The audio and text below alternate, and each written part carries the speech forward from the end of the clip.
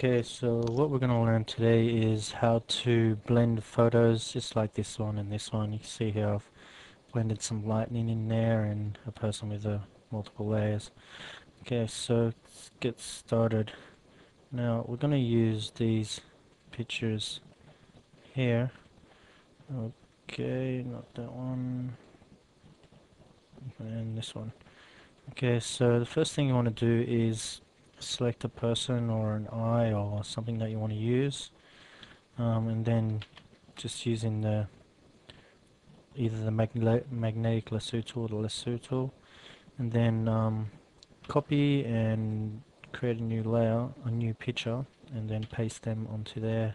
So we'll just minimize that one.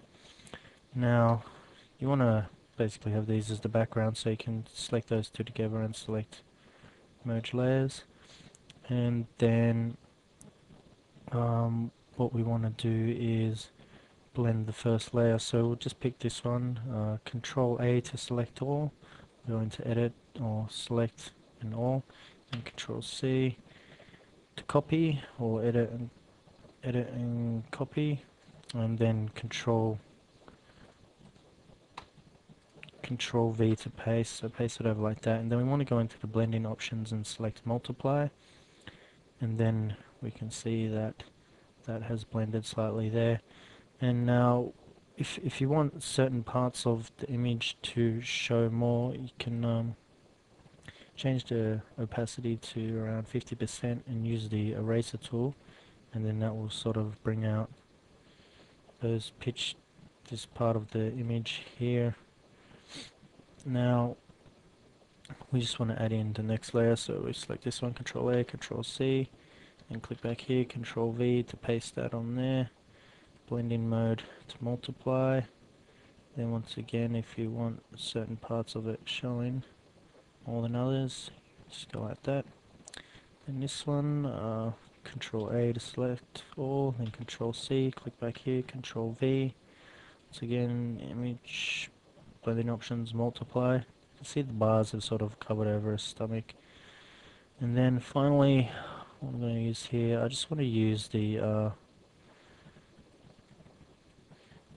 the window bit here to put over her face. So I'm going to press Control C and then Control V. Move this up over face. Press multiply.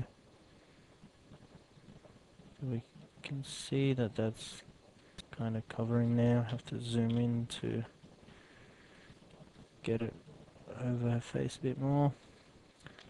Zoom out. Now just use the eraser tool to show certain parts of your body. So that's basically it. Now you can go back and remove um, parts that you don't want to sort of show and then you can highlight these other parts here by clicking on each layer and using the eraser tool.